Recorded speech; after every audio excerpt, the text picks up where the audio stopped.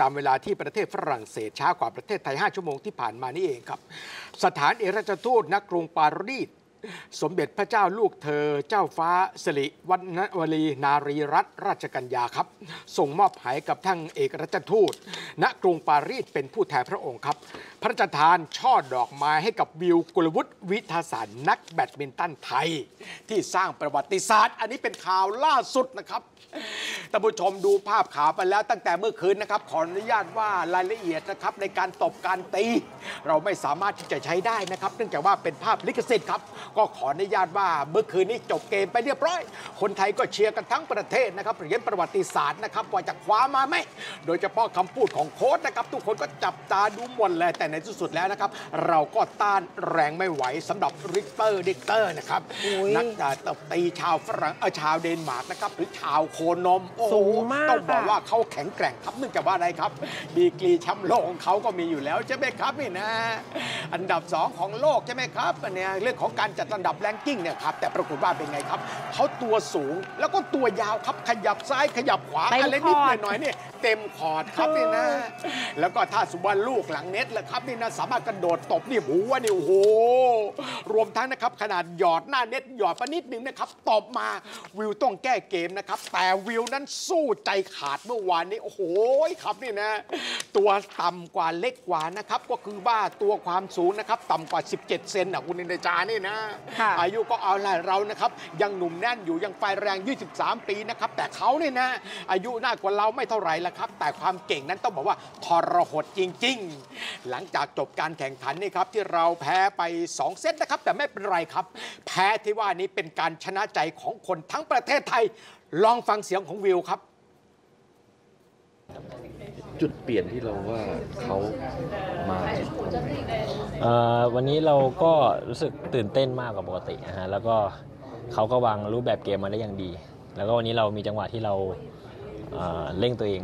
นะฮะทำให้มีการผิดพลาดมากขึ้นนะฮะก็ทำให้แต้มไหลนะฮะแต่ว่าโดยรวมสำหรับแมตช์โอลิมปิกครั้งแรกเนี่ยก็ถือว่าค่อนข้างโอเคระดับหนึ่งแต่ถ้าเป็นไปได้อีกสี่ปีข้างหน้า ก็อยากที่จะคว้าเหรียญทองครับเราวางสเต็ปไปทีละสเต็ปเลยนะเรามองไปทีละทีละขั้น แต่ตอนนี้เรามาถึงเหรียญเงินก็ถือว่าไม่น่าผิดหวังสำหรับเราตรงนี้ครับก็จริงๆมารอบนี้ก็จริง ๆ ไม่ได้หวังเหรียญอยู่แล้ว เพราะว่าถ้าดูจากสายจริงๆ ถ้าหลายคนมองก็อาจจะแพ้ตั้งแต่ตอนเจอจีนรอบแปดแล้วเพราะว่าเขาก็แข่งแกร่งแล้วก็เป็นมือหนึ่งโลกใช่ไหมฮะแต่ว่าพอเราสามารถมาถึงรอบชิงเนี่ยก็มีความสุขมาก ถึงไม่ได้เหรียญทอง แต่ว่าก็รู้สึกมีความสุขเห็นไหม วิวรู้สึกมีความสุข แต่คนไทยทั้งประเทศยิ่งมีความสุขลุ้นๆคุณเนลุ้นๆจาค่ะนี่นะ โอ้โหลุ้นกันใจขาดนะครับ ความเก่งของน้องก็ไม่ธรรมดา โดยเฉพาะภาพที่มีการจับไปที่โค้ชเป้นะครับพัทรพลเงินศรีสุขนะครับผู้ฝึกสอนนี่ก็พูดน่าสนใจมากนะครับระหว่างพักเกมนี่นะ โค้ชบอกกันนะครับว่าพี่บอกแล้วยังไง เองจะหาประสบการณ์แบบนี้ไม่ได้อีกแล้ว เองจะแพ้ชนะไม่เป็นไรนะครับ เอาความรู้ความรู้สึกวิธีคิดวิธีเล่น เอาไปใช้เขาคือสุดยอด เราต้องเรียนรู้จากเขา โอเคป้า สุดยอดคือคู่ต่อสู้ครับ เพราะฉะนั้นเจอกับมือหนึ่งของโลก เมื่อสักครู่วิวก็บอกแล้วไงครับ ว่าเราไม่มีความหวังว่าจะได้เหรียญอะไรกุณเดชาแต่มาได้เหรียญเงินนะครับ มันไม่ธรรมดา หลังจากที่ได้ไปแล้วนะครับ สิ่งที่ตามมามากที่สุดคืออะไรครับเงินทอง นะครับตอนนี้หลงโจ้นะครับนับตั้งแต่ทางคณะกรรมการนะครับอ่าให้มาล้านห้าคุณหญิงเอ่อปัทมาลีสวัสดิ์ตระกูลนะครับท่านบอกว่าถ้าได้เหรียญทองให้ 3 ล้านใช่ไหมครับเงินส่วนส่วนตัตัววแต่พอได้เหรียญเงินไปปั๊บก็คือว่าล้านห้าแต่บวกอีกนะคุณเลชาเนี่ยนะบวกอะไรคะบวกจากนะครับนี่นะเอ่อกองทุนพัฒนากีฬาแห่งชาตินะครับ7ล้าน2แสนบาทสูงสุดนะ วิวจะเลือกแบบไหนครับ จะแบบผ่อนจ่ายก็ได้ หรือจะรับก้อนเดียวก็ได้แต่แต่ผ่อนจ่ายนะครับมันก็จะได้เป็นก้อน แล้วก็อนาคตยังมีอีกนะครับไม่เท่านั้นพอครับ เงินเดือนที่จะได้ 20 ปีเดือนละ 10,000 บาทครับเป็นระยะเวลา 20 ปีอะคุณเดชานี่นะ โอ้โหทุกสิ่งทุกอย่างนะครับ มันตามมาหลงโจ้งแล้วตอนนี้ 11 ล้านบาทนะครับ แล้วก็สถานะวิวเมื่อก่อนนะครับ อันดับ 8 ของโลกตอนนี้พอตบได้เหรียญเงินไปปั๊บนะครับนี่นะ ขึ้นมาอันดับ 4 ครับนี่นะแต่วิกเตอร์คู่แข่งขันนะครับยังอยู่อันดับสองเหมือนเดิมนะ วิวบอกต่อไปด้วยนะครับว่าขอบคุณกำลังใจทุกคนแต่ขอให้กำลังใจผมต่อนะครับ ผมจะไปที่ไหนล่ะตอนเนี้ยเนี่ยนะอิงแลนด์คุณเลยชานะโอ้โหคือเป็นนะครับประเภทนักแบดที่ว่าเก่าแก่ที่สุดของโลกค่ะอ่าอิงแลนด์อิงแลนด์วอนหรือไงเนี่ยครับนี่นะค่ะผมขอประทานโทษนะครับ ผมอาจจะใช้คำพูดไม่ไม่ถูกต้องเป๊ะครับนี่นะ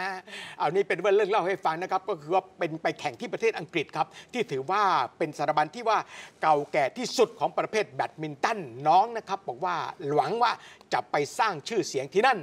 หรือไม่อย่างไรก็แล้วแต่นะครับอีก 4 ปีข้างหน้าโน่นโอลิมปิกครั้งต่อไปนะครับลอสแองเจลิสสหรัฐอเมริกาอย่างเงี้ยยังเชียร์ต่อเพราะว่าอายุเพียง 23 ปีเท่านั้นเองยศถาบรรดาศักดิ์ตามมาอะไรครับ เป็นตำรวจใช่ไหมครับยศสิบตำรวจโทเดี๋ยวบิ๊กก้องบอกนะครับว่าวิวกลับมาเนี่ยจะให้เขาพบครับเรื่องของสถานะไม่ต้องห่วงนะครับ ชนชันยศเลื่อนอยู่แล้วครับ เพราะอะไรครับ สร้างชื่อเสียงให้กับประเทศไทยทำให้คนไทยมีความสุข ท่านผบตรก็บอกนะครับว่าพิจารณาสั่งการแล้วครับ ให้มีการพิจารณาเรื่องของการเลื่อนยศระดับชั้นเป็นสัญญาบัตร โอ้โหตามมาทุกอย่างคุณอนิชาเนี่ยนะพรุ่งนี้ครับกำหนดการว่าคณะของบิวรวมกับคณะกีฬาแล้วก็ผู้ฝึกสอนนะครับ จากหลายคนครับ จะเดินทางมาที่สนามบินสุวรรณภูมิจะถึงนะครับตีห้าห้าสิบนี่นะรัฐมนตรีว่าการกระทรวงการท่องเที่ยวก็จะไปรับนะครับ ไปต้อนรับมีการเอ่อคล้องพวงมาลัยมีเอารำนะครับไป ให้เกียรติด้วยนะครับ แล้วก็สุดท้ายก็จะมีการนะครับแสดงความยินดีกัน นายกเศรษฐาก็บอกว่าพรุ่งนี้จะไปรับด้วยว่าอย่างนั้นนะ อันนี้พูดถึงเรื่องของวิวครับแต่ขออนุญาตนะครับมาเติมข้อมูลนะครับข่าวสารต่อสำหรับคู่แข่งขัน ตัวสูงใหญ่นะครับวิกเตอร์ก็ไม่ธรรมดาครับปรากฏว่ายังไงวิกเตอร์มีเรื่องเซอร์ไพรส์อีกนิดนึงครับเออเขาดูแปลกๆนะเขาเป็นคนเดนมาร์กเขาเป็นค่ะคนที่บอกว่าเมืองโคนมจะเป็นคนแปลกนะครับก็คือว่าจิตวิทยาเขาอืมปกติแล้วชาวยุโรปเนี่ยครับไม่ถนัดเรื่องของตีแบดหรอกครับคุณใช่นิชาอย่างอื่นนี่นะคนเอเชียนะเอ้าอายุโอลิมปิกคราวนี้เห็นไหมครับ ไทย มาเลเซียอย่างเงี้ยครับเหรียญทองแดงนะญี่ปุ่นญี่ปุ่นจีนอย่างเงี้ยครับ แล้วก็อ่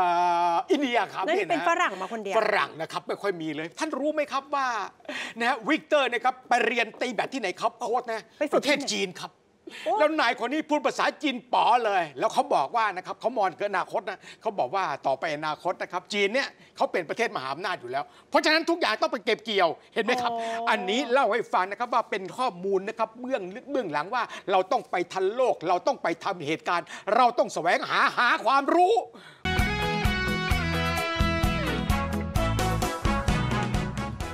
จันทร์ถึงศุกร์บ่ายสามช่องเก้า